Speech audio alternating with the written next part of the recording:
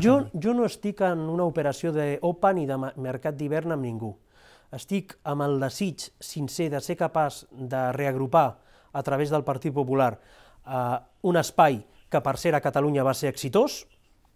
jo també crec que van, es van perdre grans oportunitats eh, fa tres anys eh, per part d'aquesta oferta política que va aconseguir un resultat molt meritori i que va fer bé les coses durant un temps i per tant va tenir aquest resultat, però crec que s'ha de fer al voltant del Partit Popular perquè l'experiència ens demostra que final, finalment eh, el Partit Popular és un partit de govern i que es comporta com un partit de govern estigui al govern o estigui a l'oposició i que és capaç de donar les passes necessàries per liderar els canvis